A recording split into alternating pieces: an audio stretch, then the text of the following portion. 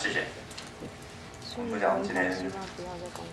个董事长这边，这个可以现在跟你讲，因为都不啊，因为时间关系，我就很很简要把个人的意见啊表达一下。那么有关第第一个题题目就是公司集团的最实规模哈。那么以这个数位化发展的趋势来讲哈，那当然就是说呃未来是公啊公公司集团是必要多台经营，只是说要多少台最务实的考量还是要考虑到裁员的问题啊。那么呃，欧洲哈、呃日本哈，还有就是像韩国，他们基本上哈，呃这个公司哈，公共电视是他们的这个电视产业里面的主力哈，所以他们甚至就是呃向一般的民众来来收取这个节目收视费哈。那如果我们肯定说公司在我们台湾的这个电视产业里面是。将来是要扮演非常重要的角色，大家都有共识哈。那当然应该说服立法院，就是说，呃，比如说也比账哈，呃，这水，就是配合水电哈，在在水电呃这个收费的时水自来水公司或电电力公司在收费的时候，我们也可以啊，就是收多少钱啊？其实啊，如果以七百万，他七百万这个这个这个住户来讲啊，就是说每个月收十块钱啊，一年大概就可以收到八亿多。那一百块那就更多了哈，如果可以收一百块就更多了，所以我想这个最关键的还是在财务的问题的哈。以目前的这个呃这个政府对这个公司的补助哈，这现大概现在大概只有就能够做的其实是是相相当有限的哈。那么第二第二题就是有关这个 公司的这个组织治理架构的问题，是董事长制还是总经理制啊？从从这个董呃，就是董事会跟总总经理的这个权力的分工来讲，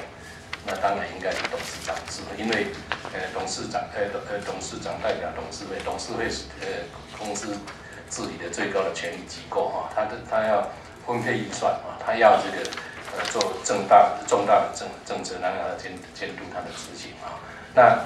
这个总经理呢，他基本上是秉秉持哈，就是。根据这个呃董事会做的决策，他来做执行啊。那当然应该是呃总总经理应该听命于这个总的董事长。只不过就是说，在实际的这个运作上啊，那就会呃出现，就是说呃董事长呃到，就是说总经理到底是听董事长，还是董事长要要这个尊重总经理？这个实务上会有会有很多很多这个呃呃会会有很多这个争议在啊。但这个我想这个是。这个是人人选的问题哈，在制度上，在体制上，那当然应该是，应该是这个呃呃董董事会啊，应该是呃要他负责做决策的这个，应该是整个公司运作的成败的的这个呃决定呢啊，这这整个成败呃到底谁来负责？那当然是应该是应该是董董事会来承担这个责任啊。那么第三题是有关这个公广集团的。经费需求规模哈，那这这个就就是如同刚刚所讲的，主要的关键还是在于，就是说，它到底我们要把它呃公式哈，它怎么做怎么样的一个定位啊？那到底我们在呃这个就是说，在政府的这个预算的支支出的那个分配，或者是说一般的民众是不是愿意来承担啊？承担这个呃这个就是说收视费的问题。呃，第四题不是呃个人比较没有没有呃不是在这方面没有什么没有什么专长，所以不表示意见。第五题呢，就是有关原住民、客家跟宏观电视，刚好这三个频道哈，呃，过去呃个人在担任呃台视总经理的时候，呃，像公呃呃客家跟原住民电视台开台的时候，都是由呃都是呃这个公呃台视呢就是去去承包。就是说，去经过竞标，然后取得这个呃开台的时候的一个呃协助哈，所以对这个整个运作是是呃我个人比较比较了解。那个人基本主张主张就是说，啊这个因为这三就是说这三个台独立要设台嘛，呃确实需要预预算啊。那政府是不是能够来支持支持他呃这这预算上财务上能不能支持他独立开台？这是一个。一个关键，如果不能的话，那即使在就是说由公共电视来负责负责这个直播啊，或者或者这个大概是一个也是一个不得已的一个比较算务实的一个做法。那过去哈，大家呃可能比较争议，呃，就大家比较在意的就是说，这两这三个党它是不是能能够哈，就是会不会受到政府部门的的影响介入？其实哈，我个人的看法就是说，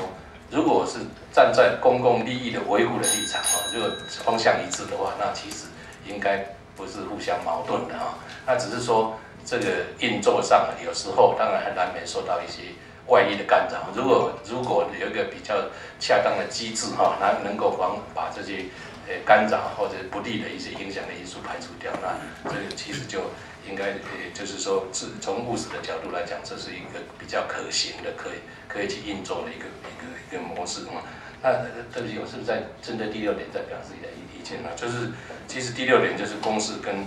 跟这个华视的关系哈。那么呃我我我个人。建议就是说哈，因为华视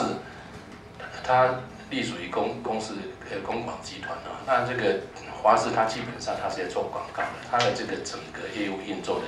呃考思考啊思考的方式，它的一些其实跟跟跟这个公司是是这个呃不见得是完全一致啊。那我个人是比较建议就是说哈，其实公司的。董事不竟然需要全部去担任华视的董事啊！其实我是建议说，呃，公司哈，像现在的这个规划的董事人选大概十三个到十七个，应该有一个董事会呃常董会的的机构，因为常董会比较呃容易去形成啊这个董，就是先在董事长的这个主导之下去形成一些共识哈，那么呃会比较呃就是有效率的运作。那这些常董其实他代表公司去。去担任华视的董事，就足以来哦，就是说让呃监督，就是华视的运作不脱离，就是不会呃不会违违背哈公司是公公广集团，或者是说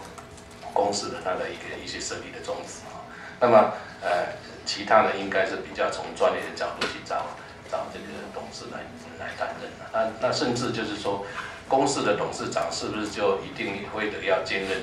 华视的董事长？其实这个也是应该可以。可以可以去去去考虑的，因为毕竟两台真的是不一样。呃，过去的这样的一个运作的模式哈，很显然就是说，呃，可能呃这个呃公司的董事去兼任华视的董事机构，